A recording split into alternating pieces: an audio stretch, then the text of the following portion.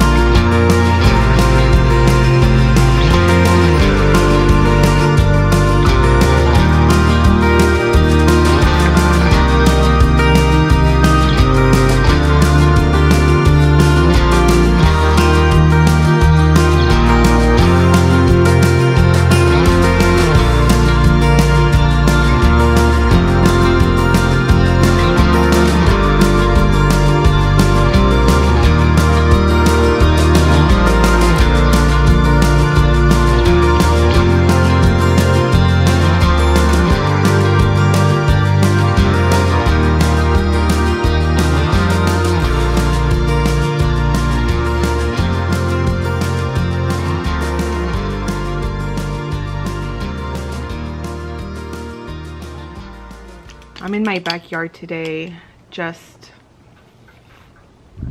just taking the day slow.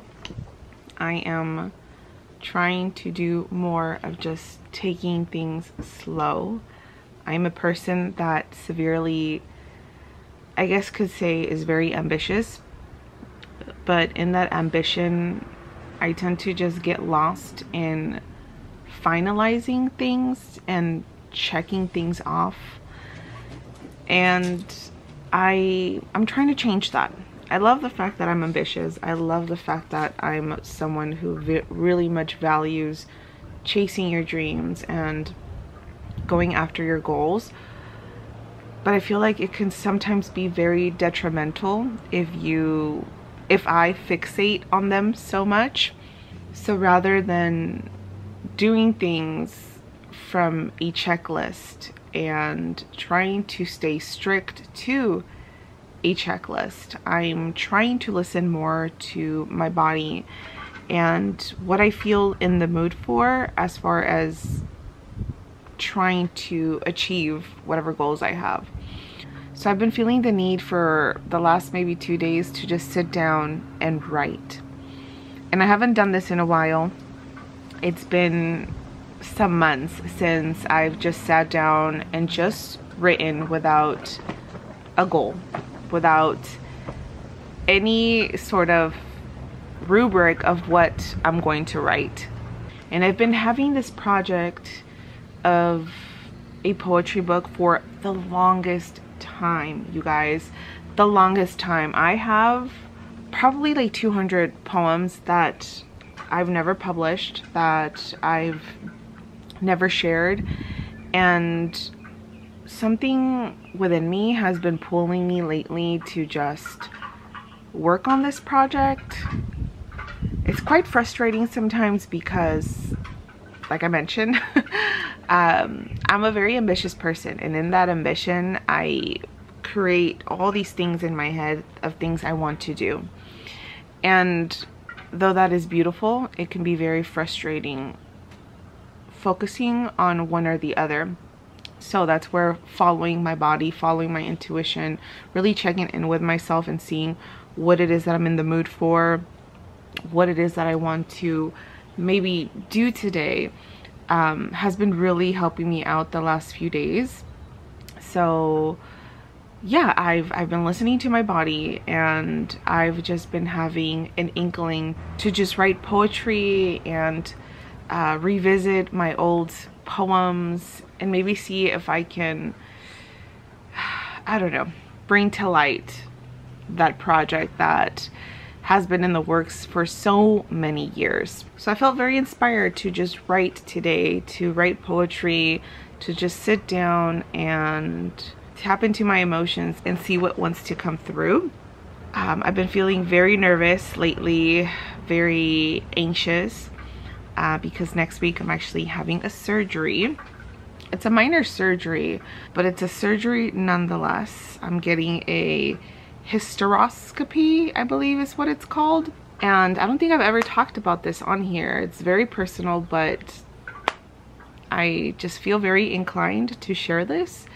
Um, but I've been struggling with my fertility and uh, me and my husband have been trying and have tried before and it has been very hard. We've experienced some losses um, and we're at a point where uh, we decided to seek some help from a fertility doctor and after some studies it showed that I had some scarring in my uterine walls so I'm getting a hysteroscopy next week so I'm very nervous about that. And usually when I'm nervous and just anxious what helps me is just writing. Um, and maybe that's why I've been feeling this pull towards just sitting down and writing. So it's been helping me. It's been very therapeutic. So needless to say there's some big things happening next week already and I'm feeling a little bit anxious. Uh, so I'm just sitting outside in my patio and just working on some writing uh, with no sort of intention in mind. I'm just kind of seeing what's coming through. And sure enough, the first poem that kind of came through was about um, my dad for some reason. Um, I tend to write a lot of poems about my parents and I feel like that's, as a first gen, that's where a lot of my experience comes from or a lot of my um, experience as a first gen is very much related to my parents so yeah that was interesting that the first poem that kind of came through was about my dad. It's not a bad poem. It's a good poem. It's a sad poem. Um, but yeah. So i'm gonna continue writing uh, probably for the next maybe 30 minutes and then also i want to read a little bit of my patreon book club uh, pick for June and that is The Honey Witch by Sydney J. Shields. I've gotten a little bit in already and so far I'm enjoying the book. So I'm going to do a little bit of more reading on that. Um, and then later this afternoon, you guys, um, I am going to Sacramento because my husband has a fitting for a wedding. And also there are two Barnes & Nobles in Sacramento that carry my book physically in store. For some reason, none of the Barnes & Nobles near me carry my book physically in store. So it just kind of paired up well that my husband needs to go to Sacramento for a fitting and then the there's two Barnes & Nobles out there that carry my book as well. So we're just gonna pop in there and look at them and see if I'm brave enough to tell them that I'm the author and if I could sign the books. So we'll see. So i'm gonna take you guys along. But for now friends i'm gonna continue sipping my green juice and writing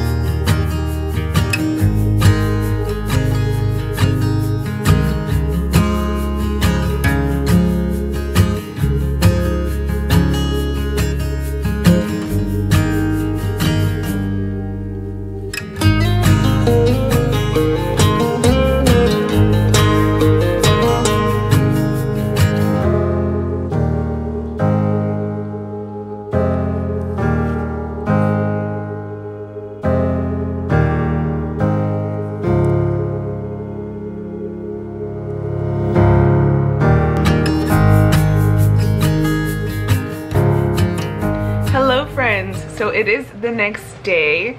I wanted to do this little haul that I'm gonna do for you guys right now yesterday but unfortunately I felt super tired and I didn't have the energy to film anything. So here I am the next day with a little mini haul of some things that I got. Now first and foremost it was such a surreal experience getting to see my book in store.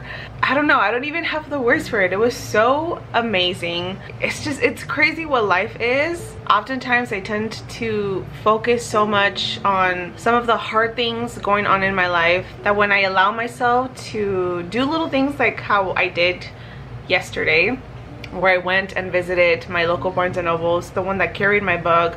It just kind of serves as this reminder that I did that and that the hard things that I had to do to do that were very much worth it. So I'm trying to hone into that feeling more of not paying too much attention to the hard parts of what life can be and just embracing that the hard parts have allowed me to get to experience some beautiful moments and yesterday was definitely one of them when I got to see my book in store. So that was such an amazing experience. I was too shy to ask the uh, employees at Barnes & Nobles if I could sign my book. That's another thing that I'm dealing with, which is a lot of anxiety so i'm hoping that i can overcome that fear eventually and to just be like hey i wrote this book. Is it okay if i sign it? Because usually at barnes and nobles when you sign your book they'll put like a little sticker that says uh, signed by author or signed copy. So i was a little too shy to sign it. Um, and also we're kind of in a hurry because my husband wasn't feeling very well.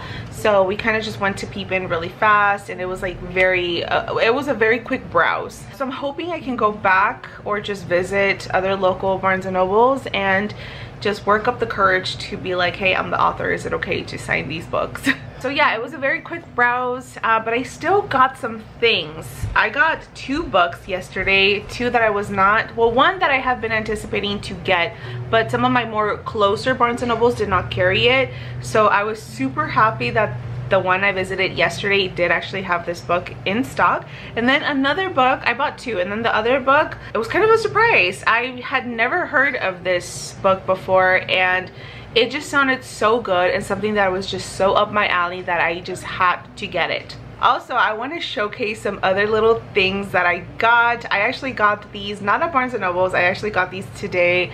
Me my mom and my little niece we went to hobby lobby just to peruse around. And you guys I, am just gonna add these to this little haul that I'm doing right now because they just go very well with what my channel is about which is about just books and writing and just cozy little things. I didn't film anything at Hobby Lobby today because I wasn't going there with the intention to film but they're just so cute you guys so I just need to show them to you guys. Also they already have a lot of fall decor at Hobby Lobby and you guys don't know this about me but i'm obsessed with watching content creators here on youtube that do just fall and autumn and spooky videos. That is my obsession year round i love love watching content creators that their whole like channel and their whole personality is autumn and fall because that's literally me. But you guys they already had so much fallout. I thought about filming it but i was just like no. We just entered summer.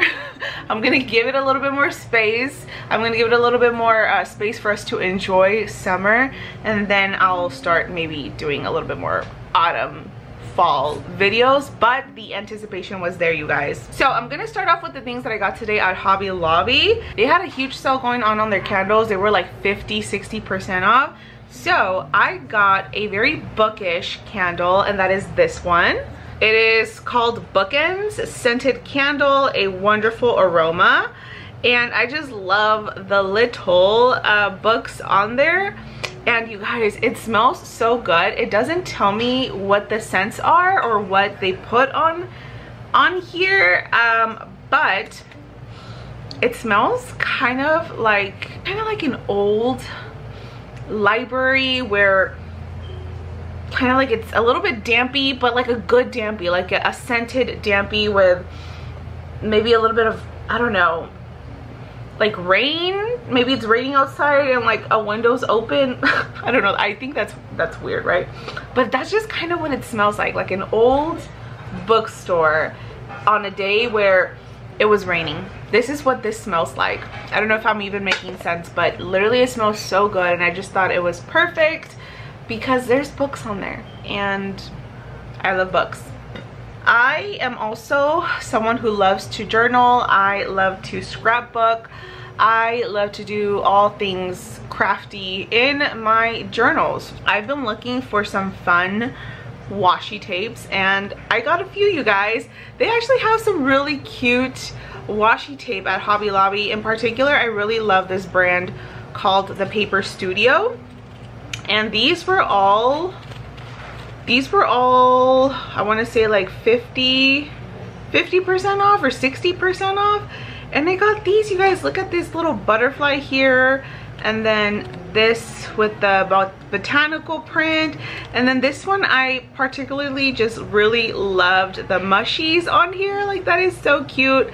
This style is so me. This screams me. I am someone who's very much like a naturey, dark academia, cottagey, dark dark cottagey type of person and this. This is just me.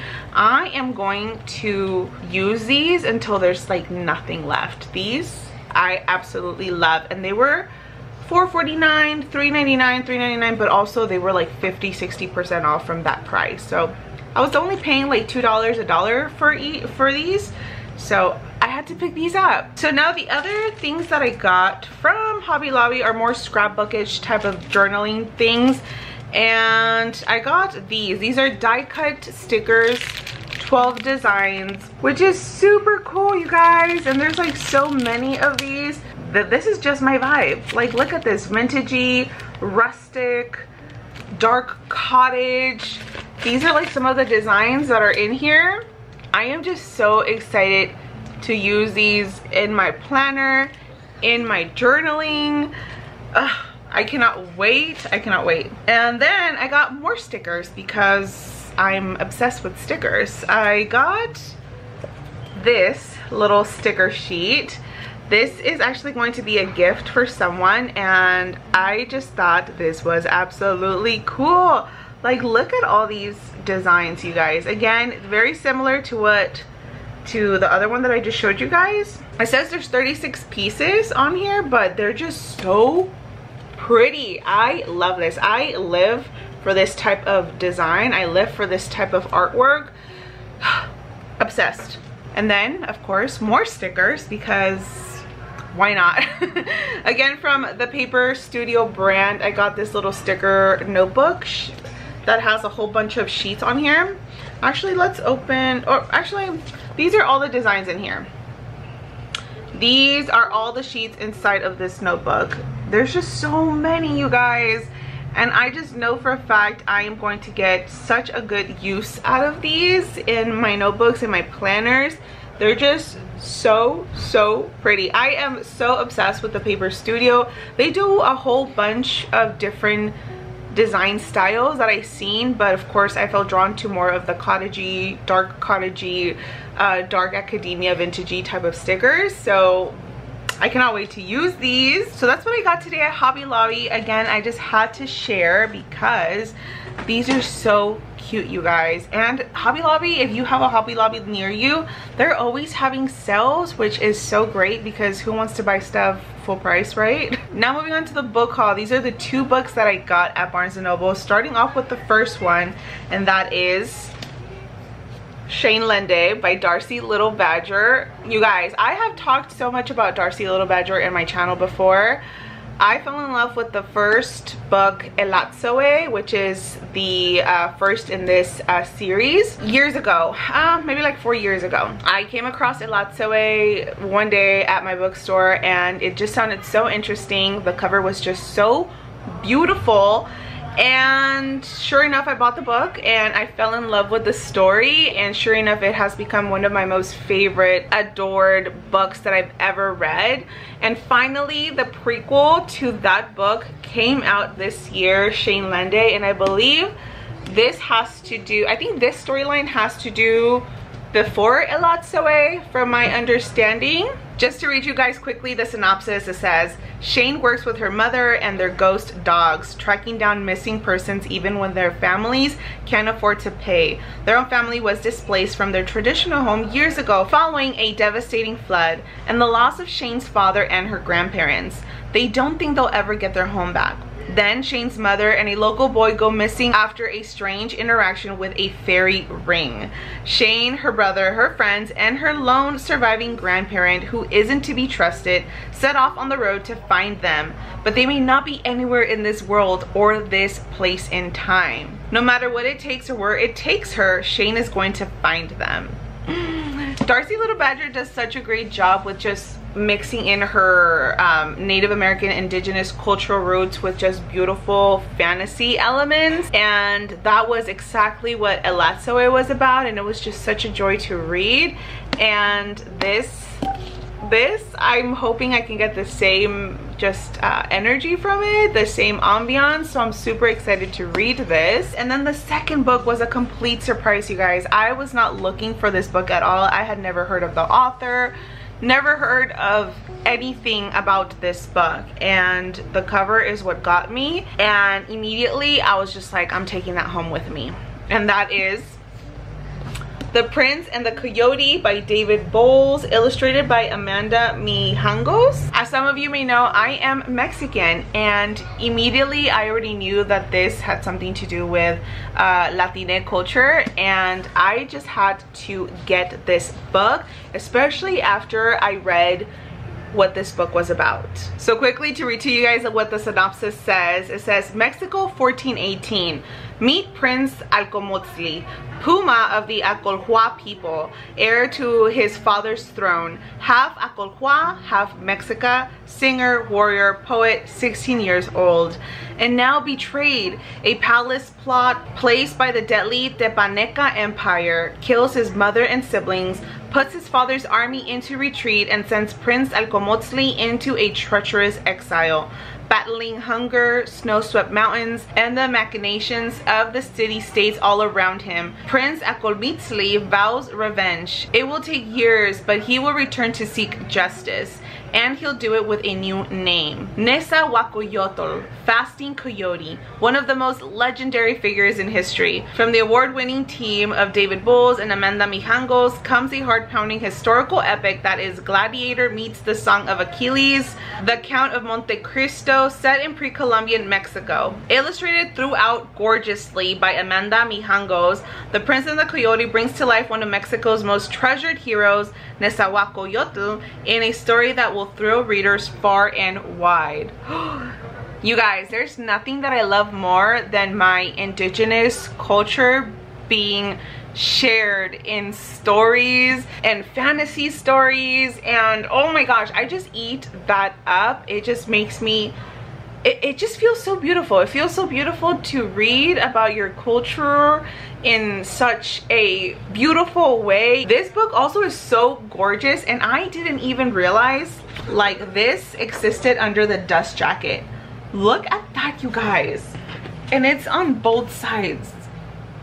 This is so gorgeous and even all these beautiful symbolisms on the hardcover is just very much like ancient Mexico art and I I love the representation. I love it so much. Also I have officially discovered one of my favorite publishers and that is Levine Querido because it seems like some of my most favorite books are by this publisher right here. They also publish Sheine Lende which they also published Elatsoe and they're by the same publisher right here. And and hold on let me get the other ones. These are all some of my favorite books and some of my most favorite authors that I have discovered because this publisher put out their stories out there. These are all published by Levine Querido as well. So let me show you guys okay? So this is Elatsoe and this is its prequel okay? Levine Querido by Darcy Little Badger, okay?